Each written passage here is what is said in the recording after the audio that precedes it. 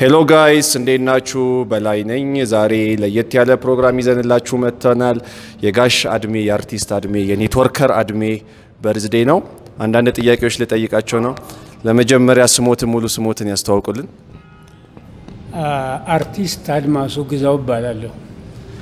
በአርቲስትነቴ ለ35 ዓመት ያህል በኢትዮጵያ ብሔራዊ ቲያትር ተቀጥሬ ወደ ተለያዩ ዓለሞች የኢትዮጵያ የካልቸር መልእክተኛ ሆኜ ከጓደኞቼ ጋር ብዙ በአውሮፓ፣ በኤስያ፣ በአፍሪካ፣ በላቲን አሜሪካ በተለያዩ ሀገሮች ዞር ያለሁ ለሰላሳ አምስት ዓመት ያህል ዞር ያለሁኝ። ከእነዚህም ውስጥ በተደጋጋሚ የሄድኩባቸው ሱዳንና አስመራን ለ11 ለ11 ጊዜ ጎብኝቻቸዋለሁ። ለ11 ጊዜ ማለት ነው። በእንደዚህ አይነት ከብዙ ጓደኞቼ ጋር ሄጃለሁኝ ማለት እችላለሁ። እንግዲህ በአርቲስትነቴ ከተራ ሰውነት ከተራ እንትን ውስጥ ወጥቼ ከተራ ነዋሪነት ወጥቼ እስከ ቤተ መንግስት ድረስ ዓለም አቀፍ አርቲስት ሆኛለሁ።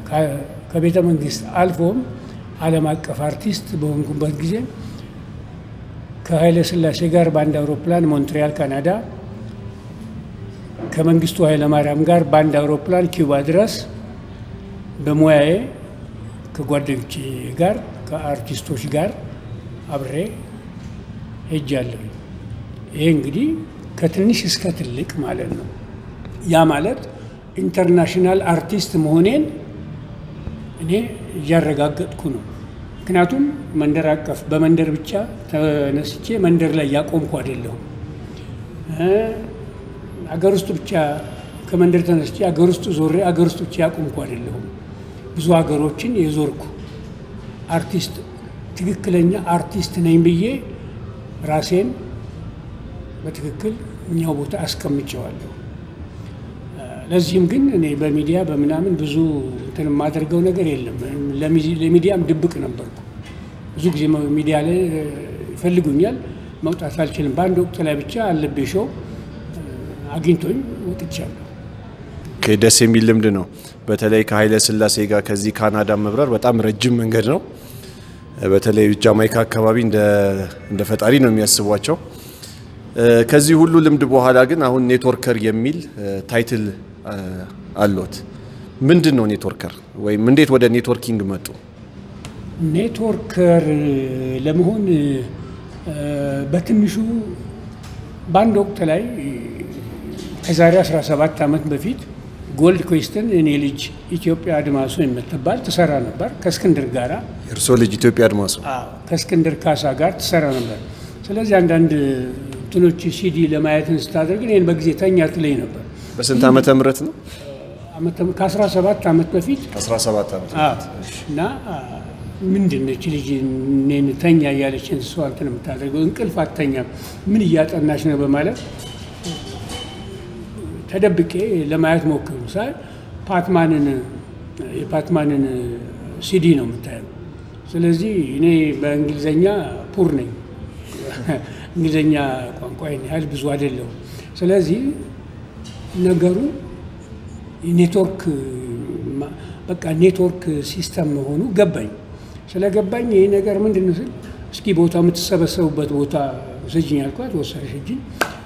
ኢትዮጵያ ማነው እቴጌ ጣይቱ ሆቴል ነበረ። እዛ ገለጻ ሲደረግ ተናደረጉ። ከዚህ በኋላ በቃ እዛው ነው join ያደረግኩት።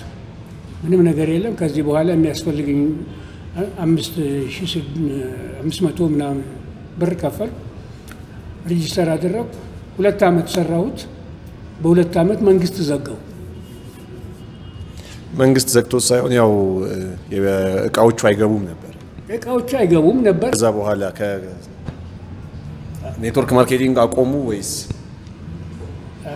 በእኔ network marketing ን የት ቦታ ምን አለ እያልኩ መፈለግ ጀመሩ። በተለያየ ከዛ የትኛው company ጋር ገቡ? ምንም ማንኛውንም እኔ network system ከሆነ በምንም አይነት ምክንያቱም የማባዛት ስራ ነው፣ የመደመር ስራ አይደለም። አንድ ሰው አስር ሲደመር አስር ሀያ ነው የሚሆነው። ሲደመር አስር ሰላሳ ነው የሚሆነው። ሲደመር አስር አርባ ነው የሚሆነው። ሲደመር አስር አምሳ ነው የሚሆነው። ስለዚህ እዚህ ጋር ግን አንድ ሲደመር ሲባዛ ሁለት ሁለት ነው። ሁለት ሲባዛ ሁለት አራት ነው። አራት ሲባዛ ስምንት ነው። ስምንት ሲባዛ በሁለት አስራ ስድስት እንደዚህ ስለዚህ double double double እያደረገ ስለሚሄድ ትልቅ ውጤት አለው እና ይሄ futurity ታየኝ። ስለዚህ እኔ ልሰራ የምችለው network marketing ነው። ምክንያቱም ጡረታ ወጥቻለሁ። ስንት ዓመት ጡረታ ጡረታ ከወጣሁ 26 ዓመት ሆነኝ። 26 ዓመት በጡረታ 17 ዓመት በ networking ማለት ነው። አሁን እዚህ ላሉት እንግዶቻችንም እንግዲህ ምን ይመክራሉ? network marketing ላይ ይኸው ልደት ለማክበር የተሰበሰቡ ብዙ ሰዎች አሉ። እኔ መቼም ስሩ ነው። network marketing ትልቅ ትልቅ ስጦታ ነው ማለት ይቻላል። ስጦታ ነው ማለት ዓለማችን የካፒታሊስቶች መናኸሪያ ሆናለች። ካፒታሊስቶች ደግሞ ጥቂቶች ናቸው። በዓለማችን ላይ ያሉ ካፒታሊስቶች ጥቂቶች ናቸው። ሀብት በጥቂት ሰዎች እጅ ነው ያለው። ስለዚህ አንድ በአንድ በተናጠል እየሰሩ የሱቅ ኪራይ ከፍሎ አንዳንድ ነገር አድርጎ ራስን ካልተገኙ የማይሰራ ስራ እየሰሩ ጊዜ ሳይኖር ራስን ጤንነትን ሳይጠብቁ ያለ እረፍት ብቻን ከመሮጥ በጋራ የሚሰሩ ነገሮች ውጤት አላቸው እና ውጤት ሊኖራችሁ ስለሚችል እኔ networking system ን ብትከተሉ ምክንያቱም አንድ ራሳችሁ ለመክበር ሚሊዮነር ለመሆን በትንሽ ገንዘብ አይደለም፣ በብዙ ገንዘብ ብትነሱ ኪራይ ከፋዮች ነው እንጂ የምትሆኑት የሱቅ ኪራይ ከፋዮች እንጂ የምትሆኑት የእናንተ ሰዎች መሆን አትችሉም። ግን ለ survival ማንኛውንም ስራ መስራት አለ። survival አደጋ አለው። ስለዚህ ለ survival ም እየሰሩ በቀን ውስጥ ከአንድ እስከ ሁለት ሰዓት በመስጠት በማንበብ በመረዳት ስብሰባ በመገኘት ገለጻ በመስማት ከ upline እና ከ downline ጋር በመገናኘት communication በመፍጠር እና ሌሎችን ደግሞ ራስንም ረድቶ ሌላውንም ለመርዳት የሚያስችል እውነተኝነትን ግን ይጠይቃል። ዝም ብሎ ነጥቆ ለመብረር የማጭበርበር ስራ፣ የማታለል ስራ በ networking system ውስጥ አይጠቅምም። ቆንጆ point ነው። ነጥቆ ለመብረር ወይ ሰርቆ ለማጭበርበር አንዳንድ ጊዜ network marketing ን እና የማጭበርበር ስራ አድርገው የሚያስቡ ሰዎች አሉ። እንግዲህ 35 ዓመት በአርቲስትነት ሙያ ነበር። እኔ already አሁን 35 ዓመት የኔም ልደቴ ነው ዛሬ። እህቴም አለች። ተቀራራቢ ሳምንት ላይ ነው የተወለድነው። ዛሬ ሶስት ሰው ልደቱን እያከበረ ነው። ምንድን ነው ለእኛስ የሚመክሩ? አንዳንድ ጊዜ ለእኛም የሚከብደን ምንድን ነው ሰዎች ይሄ የማጭበርበር ስራ አጭበርባሪዎች ናቸው ይላሉ። እንግዲህ እርስዎ በዚህ እድሜው አጭበርባሪ ተብለው ያውቃሉ? ሰዎች ሊሉ ይችላሉ፣ ግን እኔ እየሰማኋቸው አጭበርባሪ ነህ ብሎ ያለኝ ሰው የለም። ነገር ግን አጭበርባሪ በዓለማችን ላይ ብዙ ነው ያለው፣ ብዙ አጭበርባሪ አለ። ስለዚህ የማጭበርበር ዘዴ ያላቸውን ሰዎች መለየት ደግሞ ያስችላል። ምክንያቱም mindset ኣችንን መጠቀም አለብን። እኔ የእኔ ሰው እንጂ የሌላ ሰው አይደለሁም፣ የማንም ሰው አይደለሁም፣ የእኔ ሰው ነኝ።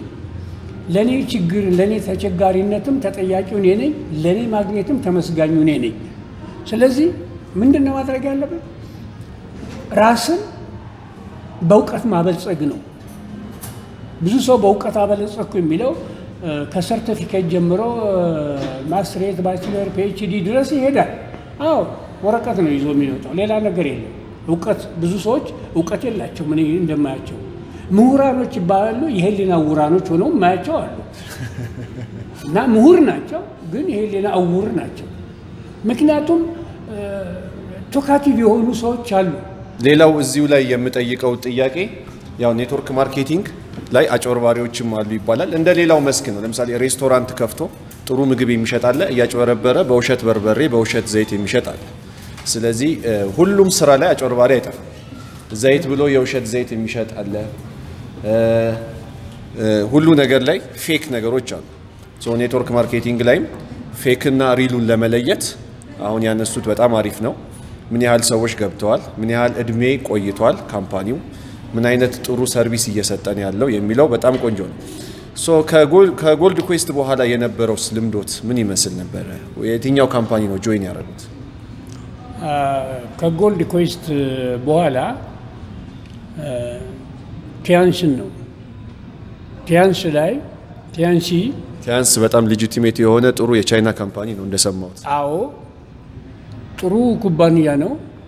ጥሩ ምርቶችም አሉት። ምን ያህል ኮከብ ደረሱ? የሆነ ኮከብ ነበረ እዛ። eight star ላይ ደርሻለሁ። wow eight star እንግዲህ በሽይ በአሁኑ ሽያጭ ባስቀመጡ እንትን eight star ላይ ደርሻለሁ። የመጀመሪያ የ10 ሺህ ዶላር የመኪና ተሸላሚ ልሆን ነበር። ተዘጋ። ሁሌ ቶሎ ነው የሚዘጋው። መንግስት ነው የዘጋው። በቃ አለቀ። መንግስት ከዘጋው እኔ ከመንግስት ጋር ብቸኛ ሆኜ የምዋጋ ለምንድን ነው ተስፋ የማይቆርጡት? ለምን ቆርጣለሁ? ተስፋ የሚቆረጥ ሳይሆን የሚለመልም ነው። ተስፋ ማለት በራሱ ጥሩ ነገር ነው። ወጣቶችን ምን ይመክራሉ? በወጣትነት እድሜያቸው ተስፋ የሚቆርጡ ጡረታ ሳይወጡ ጡረታ የወጡት እንግዲህ የእውቀት ማነስ ነው። እውቀታቸውን ያዳብሩ። በመጀመሪያ ደረጃ የሰው ልጅ በአእምሮው እና በሕሊናው መጠቀም አለበት። በስሜቱና በጡንቻው የሚጠቀም ከሆነ እሱ መጀመሪያውን ወድቋል ወድቋል፣ እየሰራም አይደለም። በአእምሮና በሕሊና መጠቀም ነው ያለበት። በአእምሮና ቶሎ እንደሮጡ ሄዶ ዘግኖ የሚመጣ ወይም አፍሶ የሚመጣ ነገር አይደለም። እንደ ሎተሪ ነው የሚያስቡት። ሎተሪ ሎተሪ ራሱ እኔ ይቅርታ አድርጉልኝና እ፣ ወይም እንደ ቁማር ብልጦች የሚጠቀሙበት ነው። yes ብልጦች የሚጠቀሙበት ነው። አስር ቁጥሮች እንዲወጡ ይደረጋል። አስር ቁጥሮች አንድ ሺህ ቁጥር ተሸጦ እንደሆነ ከአንድ ሺህ አስሩ መውጣቱ must ነው። ስለዚህ ይሄኛው ስራ ነው እያሉ ነው። ስራ ላደረገው ሁሉ ስራ ነው። ስራ ላደረገው ሁሉ ስራ ነው ላለ ሁሉ ሁሉም ነገር ስራ ነው። እንዳውም ሌብነት ስራ ነው ተብሎ አልነበረም እንዴ? በመለስ ዜናዊ እንትን እሺ፣ ወደሚቀጥለው እንሂድ። ከቲያንሺስ በኋላ ከቲያንሺ በኋላ ቲያንሺ ሲዘጋ ቲያንሺም ላይ ያለው የኤድማርክን ምርት እጠቀም ነበር።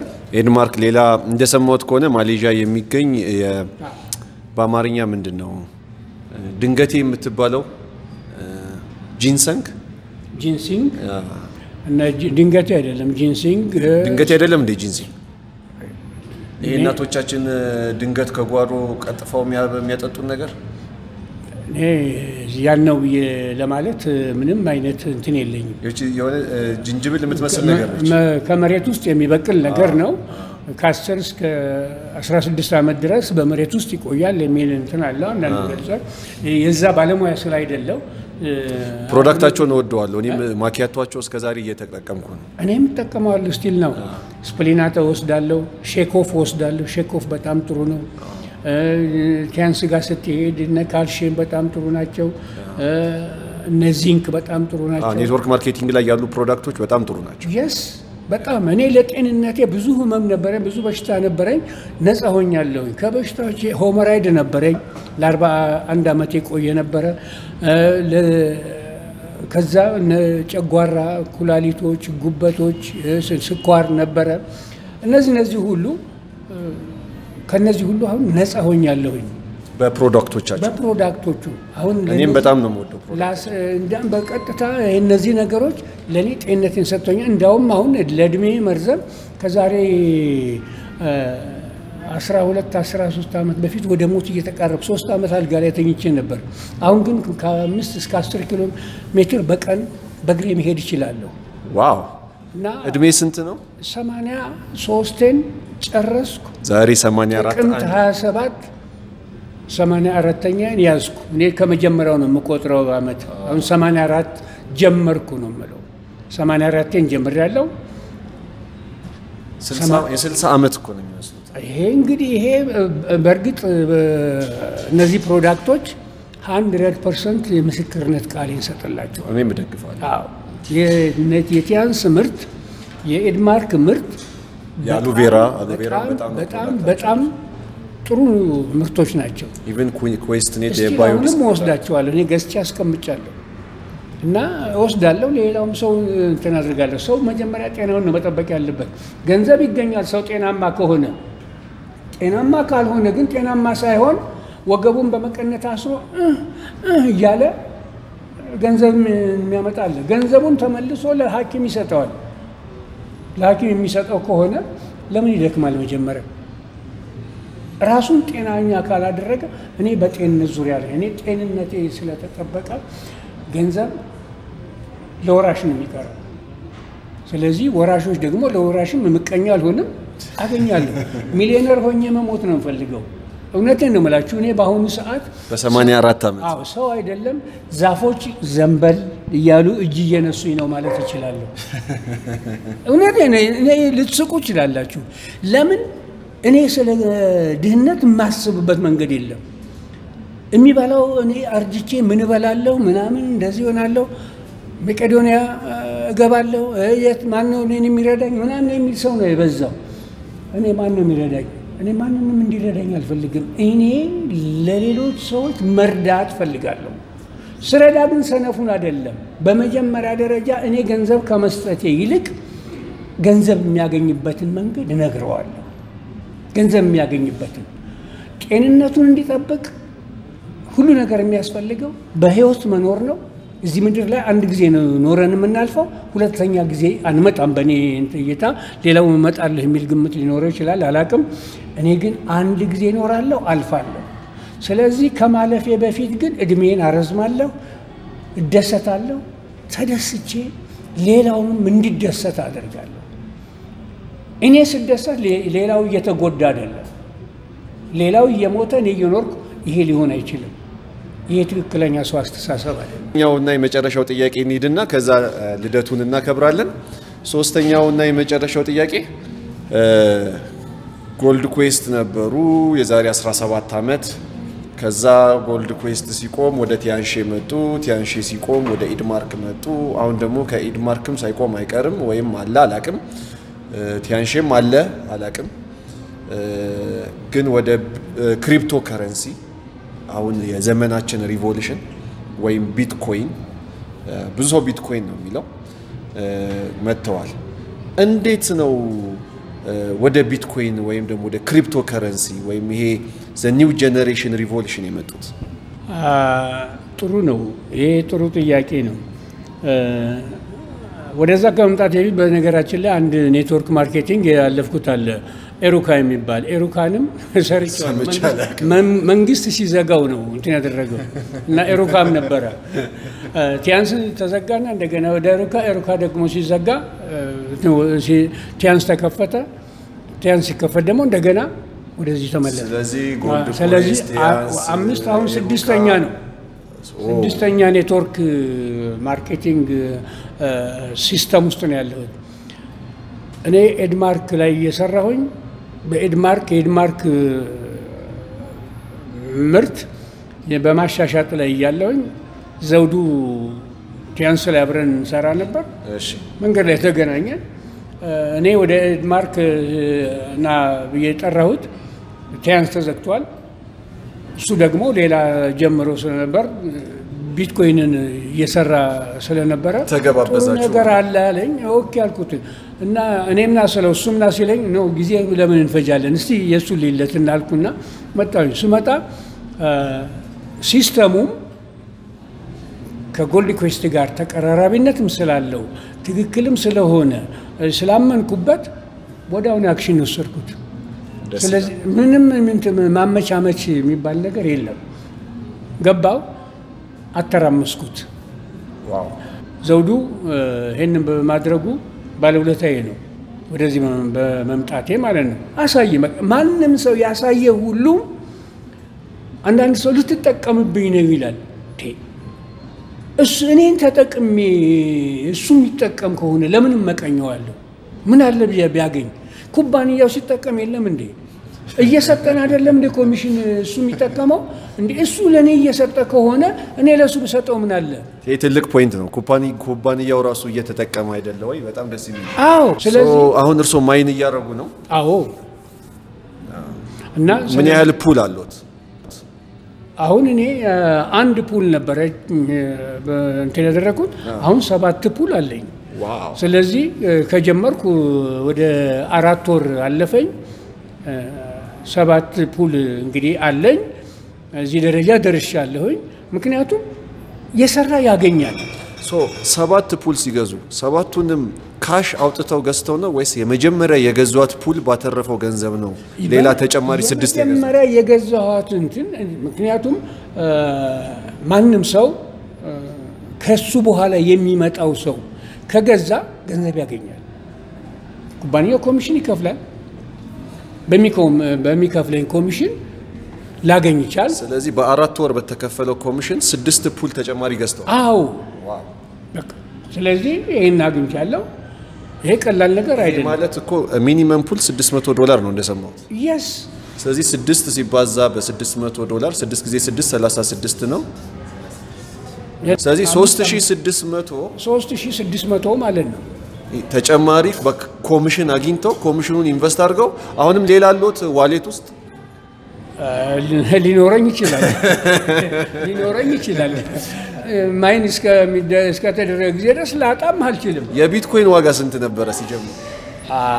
የቢትኮይን ዋጋ እኔ ሲጀምር ወደ ሰባት ሺህ አካባቢ ነበረ። አንድ ቢትኮይን 7000 ነበር። አ፣ እንደ ቢትኮይን ሰባት ሺህ ነበር። አሁን ግን ስድስት ሺህ ምናምን ውስጥ ነው ያለው። ይጨምራል፣ ቮላታይል ነው፣ ይጨምራል፣ ይቀንሳል። ይጨምራል፣ ይቀንሳል። የእኔ ጉዳይ አይደለም። እስካለው ጊዜ ድረስ እሰራለሁ፣ ሌሎች እንዲያገኙ እነግራለሁ። አልቆምም። ለምን ምቀኝነት የለኝም። መቀኝነት እስካለ ጊዜ ድረስ እነግራለሁ። So ይሄ ቢዝነስ የመተባበር እንጂ የመመቀኛኘት አይደለም። አይደለም አጭበርባሪ ሌባ ከሆነ እኔ ግን በጣም passionated ያደረገኝ በአራት ወር ውስጥ በ600 ዶላር የተጀመረ 3600 ዶላር ሌላ ተጨማሪ ስድስት pool ጨምረው ከእንደገና ሌላ account ውስጥ አለ የሚለው ነገር ነው። እና ይሄ ምንድን ነው እኔ ያመጣኋቸው ሰዎች ብዙ founder ገዙ። በተለይ አንድ እኔ ወንድም የሆነ ኖርዌይ ይኖር የነበረ ኢትዮጵያ ውስጥ ቀደም ሲል ከአርባ ዓመት በፊት እንተዋወቅ የነበረ አበራ ለማ ደራሲ እና ጋዜጠኛ አበራ ለማ እሱን አመጣሁት። በአንድ ጊዜ 52500 ዶላር ነው አውጥቶ አንድ ጊዜ 16 pool የገዛው ስለዚህ founder የገዛው አንድ ሰው ትልቅ share ሲገዛ ኮሚሽኑም ትልቅ ነው ማለት ኮሚሽኑም ትልቅ ነው። የስ በጣም አሜዚንግ ነው። እሱን ደግሞ ሲያመጣ ሌላ ደግሞ አንድ ዶክተር ረዳት ፕሮፌሰር ነው እሱም በሱ ስር መጣ ገዛ። እነዚህ ሁሉ እርስዎ አርቲስት ሆኖ ዶክተርና ፕሮፌሰሮቹን እንዴት ነው የሚያናገሩት? እንዴ ምንድን ነው ማናገር ማለት እነሱ ያ የ professional ጉዳይ ነው እኮ የ profession ጉዳይ ነው። ዶክተር ይሁን ፕሮፌሰር ይሁን ኢንጂነር ይሁን ፓይለት ይሁን whatever የፈለገ ይሁን እኔ ሰው ነው። እኔ ከሰው አላንስም፣ ከሰውም አልበልጥም። ትልቅ ነገር ነው። በቃ እኩል ነው ለእኔ። የእኔ እድሜ አሁን ትልቅ ነው እና እኔ ከእናንተ ጋር አልነጋገርም ሊሆን አይችልም። እንዴት በዚህ እድሜው ይሰራሉ ይለኛል። እድሜ አይደለም matter የሚያደርገው ፍላጎት ነው። ፍላጎት አለ ተቀይሬ ማለፍ ነው። ድሃ ሆኖ መሞት ለእኔ ወንጀል ነው። አመሰግናለሁ። ድሃ ሆኖ መኖር ወንጀል ነው። ድሃ ሆኖ መኖር አይደለም ድሃ ሆኖ መሞት ድሃ ሆኖ መሞት ሞት ሞት ነው እኮ ስትሞት ጥለህ ነው ሙት አይደለም። ምን አለበት ምቀኛ ነኝ እንዲ ሀገር ህዝብ እኮ ነው የሚበላው። ወንድሜ ልጄ ነው እኮ የሚበላው። ምን ችግር አለው? በጣም አመሰግናለሁ። የመጨረሻ አንድ ጥያቄ፣ የወደፊት ራእዩ ምንድን? ሀብታም ሆኖ ማለፍ አራት ነጥብ ነው። ሀብታም ሆኖ ጤናማ ሆኖ እድሜን አርዝሞ ስለዚህ ሀብታም ለመሆን ማለፍ ሀብታም ለመሆን የ BitClub ወይም የቢትኮይን ወይም የክሪፕቶ ከረንሲ ወይም የ network marketing ይሄ ሁሉ opportunity በቀላሉ እና በጥረት ሀብታም መሆን የሚቻልበት ትክክለኛ መንገድ ነው ይላሉ ማለት ነው። አ፣ በዚህ ብቻ አይደለም፣ በ network marketing ብቻ አይደለም የሰው ልጅ ሀብታም መሆን የሚችለው። በብዙ ነገር ብዙዎች ስራዎች ሀብታም ያደርጋሉ። በፍጥነት የሚሄድ የምትሄደው ግን በ network marketing ነው።. network marketing በፍጥነት ያሳድግሃል። ምክንያቱም የመደመር አይደለም የማባዛት አመሰግናለሁ በጣም አሁን ልደታችንን እናክብር።